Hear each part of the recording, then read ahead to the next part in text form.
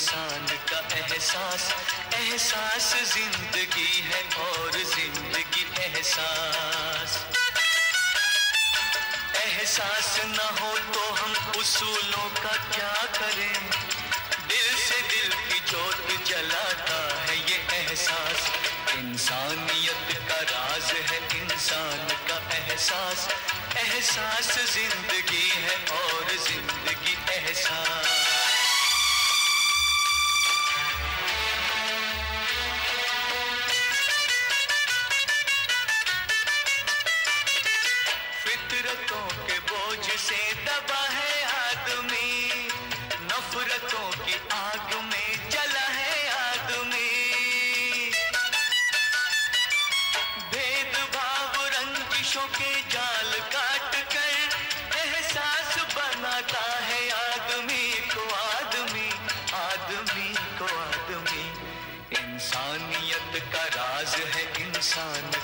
एहसास एहसास ज़िंदगी।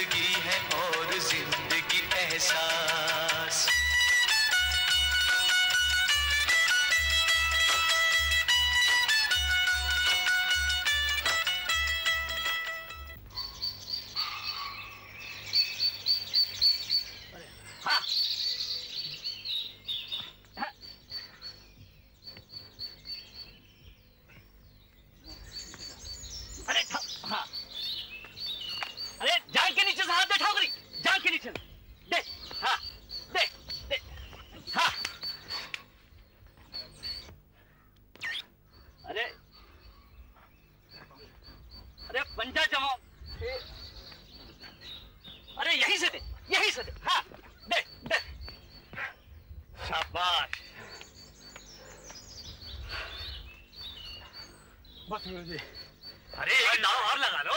बस बस। अरे काहे? कहा? गुरु जी काका ने कहा था तभी जल्दी आ जाना। वो ठाकुर साहब ने हवेली पर बुलवाया है। अरे तो कहा तुम भी जजमानी में जाने लगे? और ना ही गुरु जी बस ऐसे ही कभी कभी काका के साथ चले जाते हैं। अच्छा उसे कहा था आज अखाड़े मत जा। जमींदार साहब ने सुबह सुबह बुलाया है। अब इतना दिन चढ़ाया है। सुबह कह रहे थे अभी आ जाऊँगा। आदिया लो, के बोले कोई लारिया। और प्यारी जी भैया। जल्दी दूध पिला दे। अरे तू दूध छोड़ और पहले तैयार हो जा। अरे तैयार तो हम हैं ही काका। ये देखो नहा के आए हैं। ये कमीज पहन लिया। और तैयार हो गए चलो। हो गए तैयार? हाँ। और सुरमा कौन लगाएगा? अरे एक दिन सुरमा नहीं भी लगाया तो चलेगा। तू जल्दी से दूध ला जा। ऐसे ही? हाँ। गरम तो करने दो। अरे दूध को छोड़ और चल ऐसे ही। हर प्यारी। तू भी चल। मैं? अरे हाँ मैं बताना भूल गया। वो जमींदार साहब की भतीजी है ना जमंती। हाँ। उसने तुझे बुलाया है। इस हाल में जरा धोती बदल आती हूँ। अरे कौन सा मेले में जा रही है? जल्दी चल जा। और क्या अरे पहले ही बहुत देर हो रही है। ये रसोई में रख के आती हूँ रख के जल्दी आ जा। बस चाचा उसके बाद मैं जैसे ही बॉल को लेकर चला ही था कि सामने से उनका प्लेयर आ गया। मैंने भी उसको ऐसा काट के लेकर गया सीधा गोल कर दिया चाचा। तीन तीन गोल किए मैंने। शाबाश बेटा शाबाश। अरे कुछ खा भी तो ले कि बस गोली करता रहेगा ले चलो, ए, एक से खा ले। अरे बेटा नहीं नहीं बस बस बेटा अब मैं कितना खाऊँगा? बस कर इसे खिला। एक तो कैसी सेहत होती जा रही है? पता नहीं कॉलेज में क्या अल्लम गल्लम खाता रहता है ये। ले, ले ले बेटा खा। क्या बात कर रहे हैं चाचा? इससे तो बढ़िया ही मिलता है। और ये जमंती हाँ। खाना थोड़ी पकाती है घास काटती है। तो ब्याह लाइए ना भैया जो आपको अच्छे अच्छे मालपुए बनाकर खिलाए। हाँ हाँ ले आऊँगा ले आऊँगा। पर पहले तुम्हें तो यहाँ से दफ़ा कर दूँ। क्यों चाचा? देखो चाचा ये मुझे फिर से दफ़ा करने की बात बोल रहे हैं। ठीक ही तो कह रहा है बेटी। तुम्हारे हाथ पीले हो जाएँ। शेर सिंह पढ़ लिख कर अपने जमींदारी का काम संभाल ले।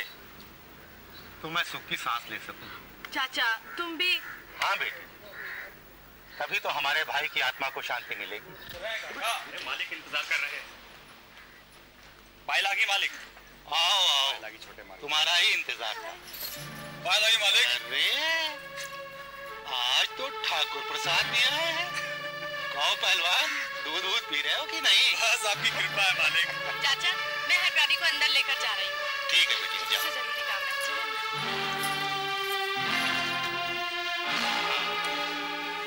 देखो मैंने तुम्हें एक बहुत ज़रूरी काम से बुलाया है। ये देखो। ये देख। हाँ। तुम्हारे भैया तुम्हें कितना प्यार करते हैं। इतनी सारी चीज़ें लाए हैं मेरे भैया शहर से। ये देखो टीका देखो। भाई। और ये झुमके। अच्छी है ना? दुल्हन के और, और देखो ये चमकीली बिंदी भी है। देखो हाँ। कितनी सुंदर है। तुम पे बहुत जचेगी। अच्छा एक काम करो तुम ये चूड़िया रख लो। अच्छी लगेंगी। ये लो। मैं रख के क्या करूँगी? जब कोई पसंद करने वाला ही नहीं है। क्यों? अरे वो भी आ जाएगा। हो सकता है आई गया जल्दी नहीं आएगा। अच्छा ये लो। जहाँ भी जाओ हर आदमी आजकल बी ए पास ही लड़की चाहता है। और ये सिर्फ़ चार जमात पास है। मैं समझता था कि लड़की को चिट्ठी पत्र लिखने पढ़ने आ जाए बहुत है। जमाना बदल गया है सरकार। अब लड़की को लड़के के बराबर मानते हैं। अरे तो मैंने कब फ़र्क किया है भाई। मैंने जमंती और शेर सिंह को अपनी औलाद की तरह पाला है। यही दोनों तो मेरे अपने हैं। वो तो सारा जग जानता है सरकार। आप सचमुच अपनी प्रजा के माई बाप हैं। जब तब किसी को ज़रूरत पड़ी आप हमेशा मदद को तैयार रहते हैं। हम लोग तो आपके सहारे ही ज़िंदा हैं सरकार। खैर छोड़ो इन बातों को। वैसे इस बार ये उम्मीद है कि बात बन जाएगी। खानदानी लोग हैं पुराने विचारों के भी हैं। लड़का जमींदारी ही देखता है। तुम ऐसा करो कि संदेश पहुँचा दो। अगर रुकने को कहे ना तो रुक भी जाना। आ, लेकिन जाना कहाँ है? असीरी गाँव। असीरी गाँव? ये गाँव तो हमारे ननिहाल के पास है ना काका? हाँ वही है। ये ले तो फिर आप तकलीफ़ काहे करते हो? हम चले जाते हैं। इसमें तकलीफ़ काहेगी बेटा? ये तो हमारा काम है। नहीं नहीं आपको जाने की कोनो ज़रूरत ना है। आप हमें आज्ञा दे मालिक। अरे नहीं मैं तो तुम्हें शहर भेजना चाहता था। काहे कोनो दंगल उंगल है का मालिक? अरे नहीं भाई मामूली सा काम है। खैर तुम्हारा बापू कर लेगा। आपकी बड़ी कृपा है मालिक। बहुत दिनों से ननिहाल नहीं गए थे। आपका आशीर्वाद रहा तो छोटी मालकिन का ब्याह पक्का करिए के आएँगे। अच्छा तो ठीक। कल सुबह फिर तुम निकल जाओ। जी मालिक। और तुम ऐसा करो कि कल ही तुम भी शहर चले जाओ। जी सरकार। हाँ? ठीक है तुम लोग जाओ। जी पाए लागे सर। खुश। पाए लागे मालिक खुश रहो।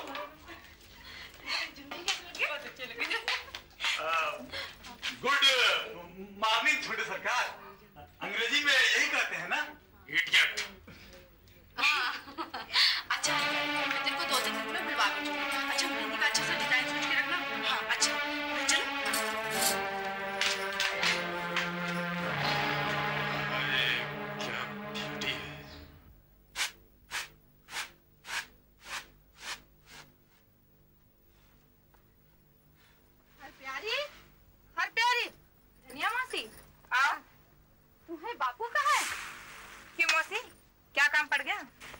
ठकुरानी माँ ने तुम्हारे बापू को बुलाया है और कहा है शाम तक ज़रूर पहुँच जाए बापू तो शहर गए हैं और भैया नानी के घर मालूम नहीं कब लौटेंगे।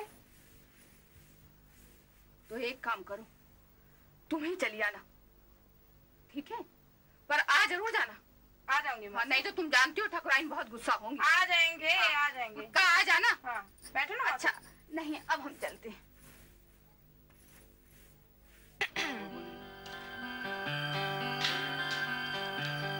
अम्मा जी।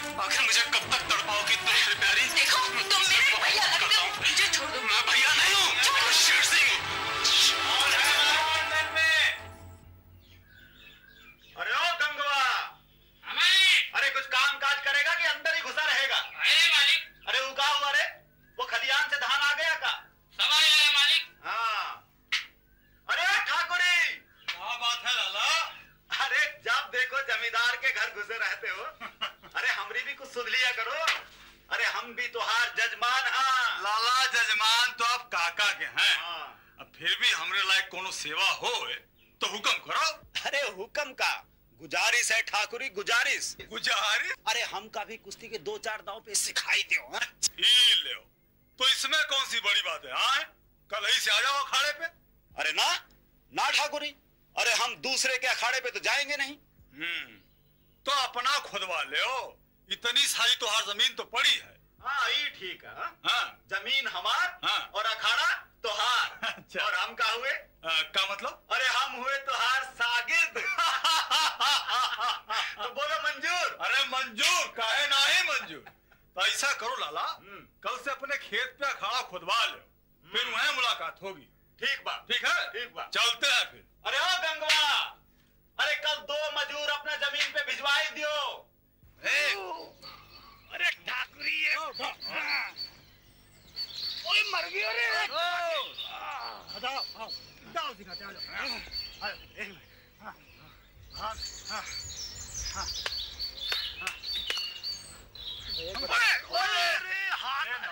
बर्दाश्त तो करो आहिस्ता मारो ठाकुरी आहिस्ता ही कर है पलवन देख के करो भैया वो भी पास हाँ, इधर आओ इधर हाँ, हाँ, ये है ना हाँ, ये ओए ओए ओए ओए रे अरे मर गया रे अरे मर गया चलो हम पे लगाओ हाँ, हम पे लगाओ ऐसे ही हाँ ऐसे ही हाँ हाँ ये हाँ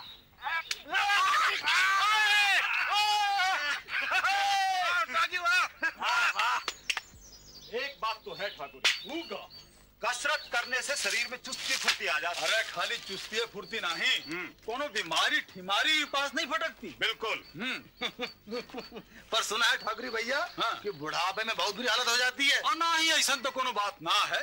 बुरी हालत तो तब होती है जब खुराक ठीक ना हो। खुराक ठीक ठाक हो और शरीर की देखभाल बरकरार रहे तो कुछ भी नहीं होता। अरे वो तो तब है ना। हाँ। जब कोनो और काम धंधा होए ये भी सही है। सरकार पहलवान तो जब बूढ़ा हुआ हाँ। दंगल से बाहर ये अब जब दंगल नहीं रहेगा तो आमदनी कहाँ से होगी? बिल्कुल भी अब वो गामा पहलवान खाल देख लीजिए सरकार? देख लीजिए? हम तो ठीक ठाक हैं अरे तो है। कसरत करके दिन अच्छा कर जाते हैं। ठाकुरी? बिल्कुल। पर आपकी तो पौबारा है ना सरकार। आपने कौन से दंगल लड़ने हैं? आपका शरीर तगड़ा जेब भारी। है। हर प्यारी कहाँ जा रही हो? ये नहीं जा रही हम इसको अपने साथ लेकर जा रहे हैं। छोटी मालकिन वो तो हम देख ही के समझ गए थे। बस ऐसे ही पूछ लिया। चले। ये तुम्हारी बहन के साथ कौन? वो अरे पहचाना नहीं। वो छोटी मालकिन जमंती है। ठाकुर रंजीत सिंह की भतीजी। अच्छा अच्छा अच्छा अब हम चलते हैं है।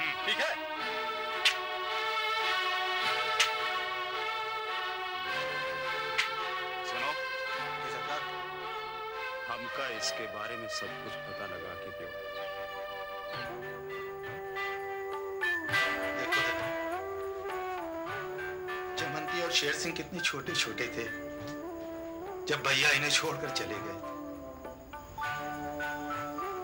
हाँ देखो शेर सिंह शहर से आया है। उसके खाने पीने का तुम बहुत ध्यान रखना। किसी चीज़ की उसको कोई कमी ना होनी चाहिए हाँ? बल्कि उससे पूछ लिया करो कि उसको खाने में क्या पसंद है। जी मालिक मैं वही बनाती हूँ जो उसे पसंद है। ठीक है एक बात का और ध्यान रखना। जमंती को कभी चौके में मत जाने देना। सारा काम तुम खुद अपने हाथों से करना। अच्छा? चाचा चाचा भैया पास हो गए। हाँ? अरे वाह! ये तो बहुत अच्छी खबर सुनाई तूने। कुंवर भतीजे साहब तीसरे ही साल में पास हो गए। अरे सुन आज तो सारे गाँव को जाके मिठाई बांट। हाँ। और एक बात अपने चाची से कह दे कि आज घर में ढोलक बजनी चाहिए। खूब नाच गाना होना चाहिए। चाचा खूब रौनक होगी? अरे और क्या? और हाँ ठाकुरी के बापू से कह दे कि सारे गाँव को न्योता दे क्या है? पूरे गाँव में मिठाई बटेगी यार।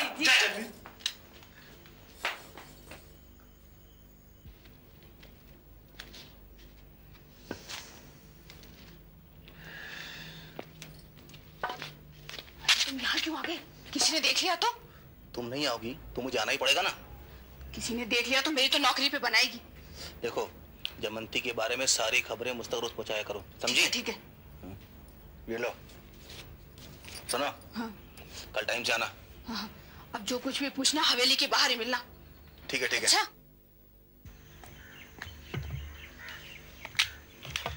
सरकार मैं धनिया को पूरी तरह अपने से मिला चुका हूँ। अब जमंती के बारे में हर पल की खबर रोज हमें दिया करेगी सरकार।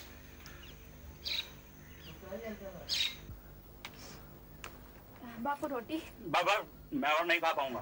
तुम तो लोगे भैया। हम्म, ज़रूर लेंगे। तो लो। तू जा बेटी। सारी सारी रख दे। हाँ। ये लो। हाँ बापू। नहीं तो बहुत देर हो जाएगी। बापू जाना ज़रूरी है क्या? बेटी ठकुराइन के घर में भजन कीर्तन है। सौ काम निकल आते हैं। फिर बापू। तो ऐसा कर अभी से चली जा। कीर्तन शुरू होने में तो अभी बहुत देर है।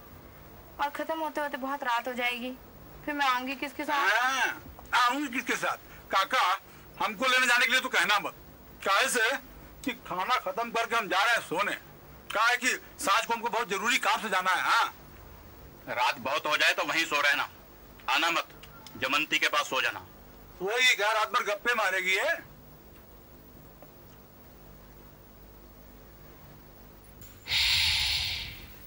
क्या करूँ? अपने मन का भय इनको बता दूँ? पर होगा क्या? क्या मिलेगा? कोई मेरी बात पर विश्वास नहीं करेगा। कोई उससे पूछने की हिम्मत भी नहीं करेगा। उल्टा मेरी ही बदनामी होगी।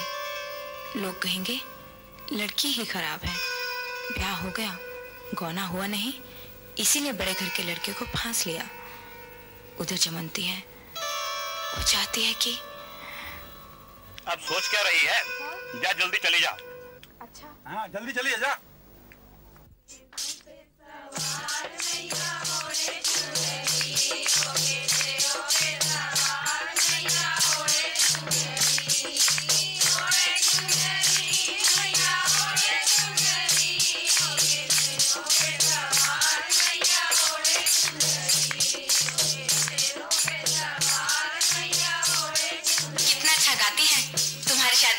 शादी को बुलाएँगे?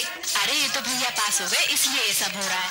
अगर वक्त होता ना तो चाचा रासलीला करवाते। हम्म, रासलीला का वैसे अपना ही मज़ा है। हाँ ये भैया बता रहे थे कि इस बार रासलीला मेघराज की दुकान के बिल्कुल सामने हो। अच्छा फिर तो हम देखने चलेंगे। और क्या? जी अम्मा जी। बतियाना बंद करो और जाओ चाची को बुला लो जी अच्छा।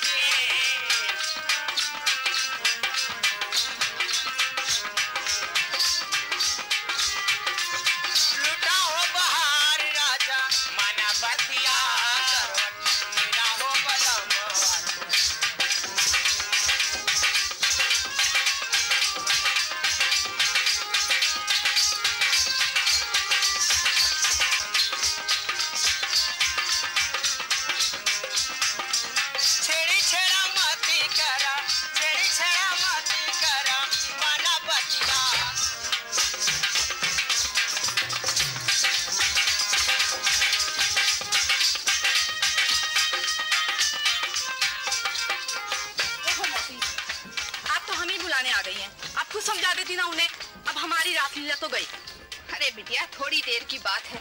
पहले जाके चाची को ठीक से समझाया, फिर चलिए ना रासलीला देखने। अब हम क्या समझा दे उन्हें? हार वो रख के भूल गई है। अब हम क्या बताएँ कहाँ है?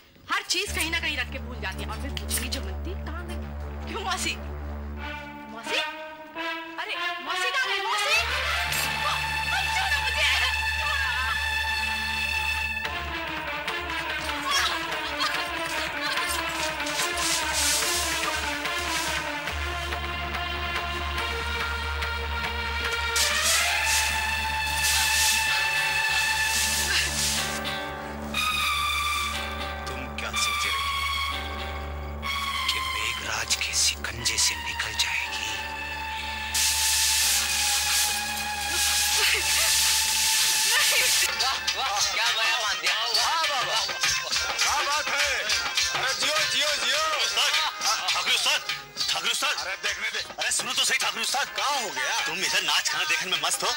सेठ मेघराज ने चिड़िया फांसी है। चिड़िया? हाँ नहीं समझे। जमींदार की भतीजी कल्याण में ले गया है। ऐश कर रहा है ऐश। छोटी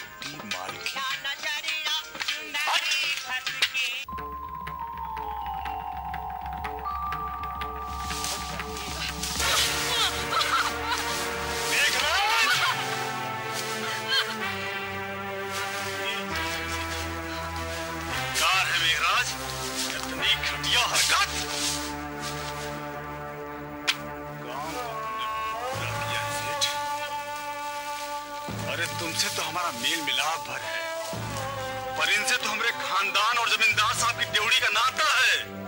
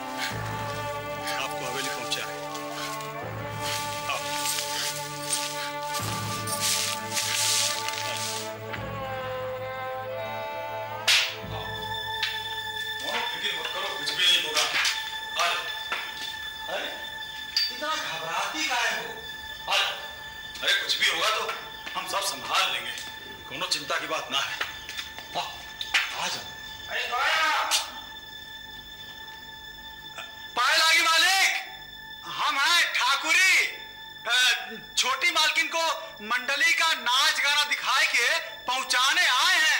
अच्छा। जाओ। अरे टुकुर टुकुर हमारा मुँह का देख रही हो हैं? जाओ जाके सो जाओ। तुम्हें मेरी कसम ये बात गाँव में किसी को ना कहना। का कह रही हो? अरे तुहार इज़्ज़त खाली हवेली की इज़्ज़त ना है पूरे गाँव की इज़्ज़त है। कह दिया ना?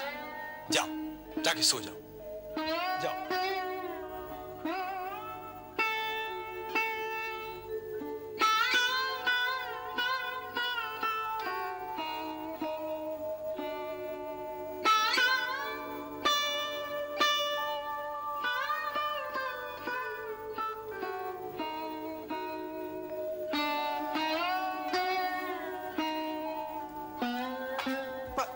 पाए लगी छोटे मालिक